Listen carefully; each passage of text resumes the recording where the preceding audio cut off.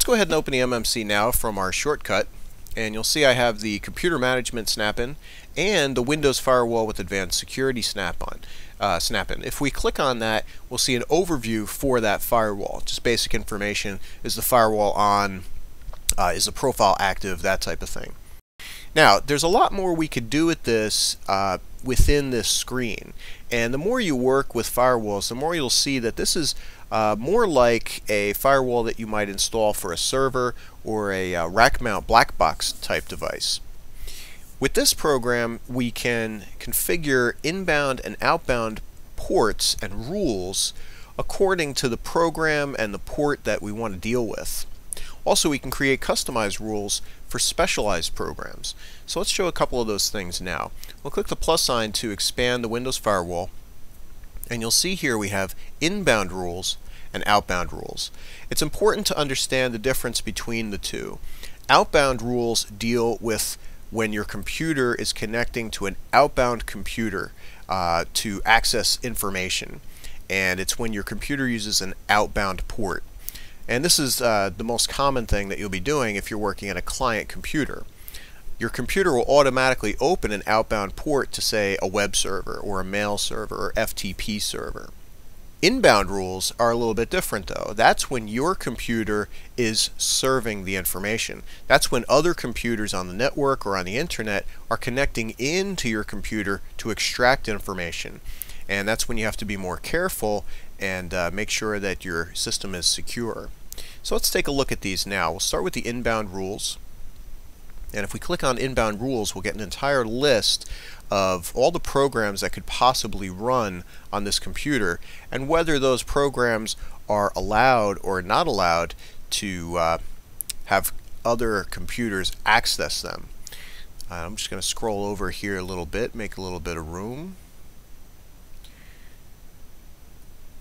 Okay, and we'll see a couple things here. For example, here's an, an Adobe, a set of Adobe inbound rules. And they have a green check mark. That means that they are currently enabled. And we see here it says enabled yes. If we see a gray check mark, we know that it's disabled. So under the enabled column it says no. Let's show another example of this. If we scroll down, and we'll scroll all the way down here to remote desktop, here we have an option that's grayed out and it says enabled no. So this is a disabled rule, but we could enable if we needed to, and a profile is for public. Yet here's another remote desktop which is enabled. And if you look at the profiles for these, the one that's enabled is for the domain, computers on this uh, on the domain, or private, meaning internal to your network. The one that's disabled is considered public and usually means uh, computers coming from the internet. So it makes sense that we want to have that disabled. But let's say that I wanted someone that was external from this computer on the internet to have the ability to take control of this computer. Well, I could go ahead and enable this rule. And I would do that by right-clicking it and just selecting Enable Rule. That's going to refresh the uh, screen, scroll down a little bit, and that'll make that green. And now both remote desktops are set to uh, enabled. We can also change the profile. We can change the users or computers that can connect to this specific program. Uh, and we can do that by double clicking the uh, rule and that'll bring up the properties for that rule and uh, specify all the different uh, types of things that we want to do here. We can allow regular connections, only allow secure connections, or block the connections altogether. We can change the profiles. We can select a public profile, private, domain, or all three if we wanted to. We can select specific computers or users that can connect to this program. So pretty in-depth. You can't really do a lot of these things in the control panel version of the firewall. So I'm just going to cancel out of here.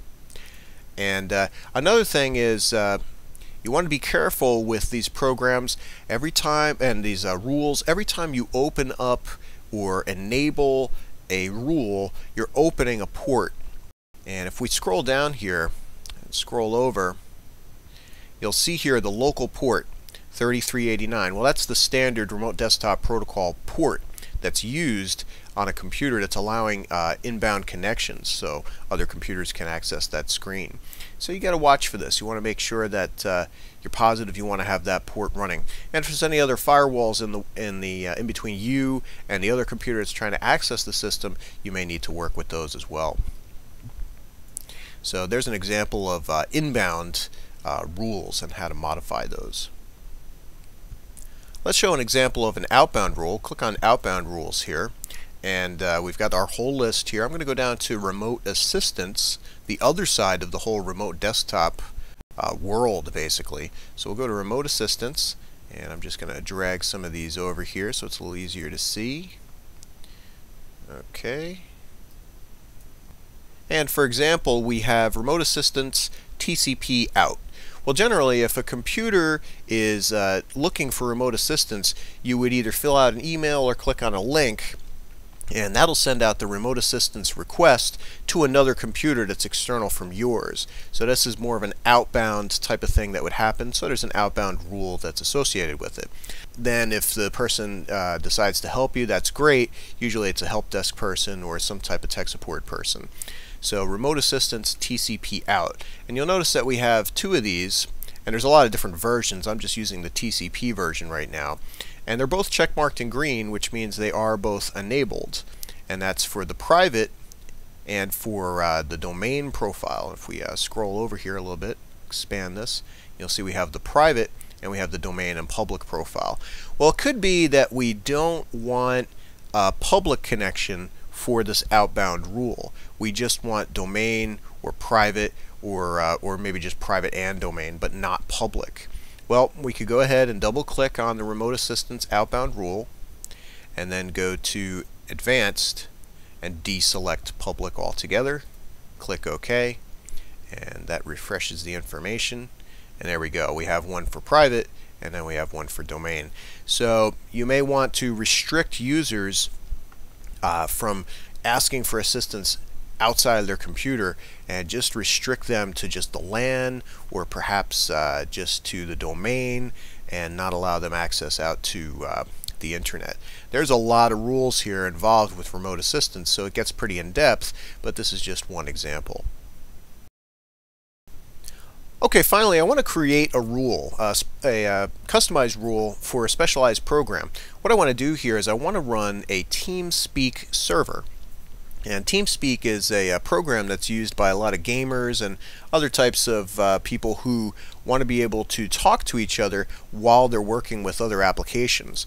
And the TeamSpeak server would control all this communication. Uh, if I want to run the server, what I want to do is I want to create a custom inbound rule for this server program. So I'm going to go to inbound rules and then over here in the actions pane we'll go to new rule. Click that now and that brings up the new inbound rule wizard. And uh, it asks you what type of rule you want to create. You could do it by the program, by the port, or a customized rule. And again, this gets pretty in-depth when you deal with firewall. So remember, this is just a basic example. I'm going to select port Click Next. And then it says, does this rule apply to TCP or UDP? Well, actually, TeamSpeak uses both, but the one I'm concerned with for now is UDP, and that's for the voice portion. And it's a specified port is going to be 8767. That's the inbound port that the server is going to use that all the other people that are utilizing TeamSpeak are going to connect to. Really, their computers are going to connect to it automatically. So 8767, we'll click Next. And we have some options here. We can just simply allow the connection or allow it only if it's secure and authenticated. That would require additional IPsec uh, configuration. Or we could block the connection. I don't want to do that. I want to allow the connection, so I'll leave it as that and click Next. And it says, when does this rule apply? What profile are we dealing with here? And I'm going to leave it as all three, but you never know. You may want to just leave this as uh, private, a private network location known as a LAN. But I'm going to leave it as all three just in case I have people who are using TeamSpeak that are uh, in China or England or who knows where. So we'll leave it as that. We'll click Next. And we'll give this a name. And we'll call it TeamSpeak. Description. Uh, server program. Rule.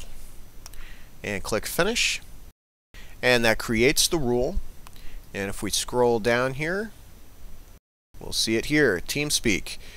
Any uh, profiles allowed, private, public, or domain. It's enabled. And if we keep scrolling over, we'll see the port, the inbound or local port that's being utilized, which is a UDP port 8767.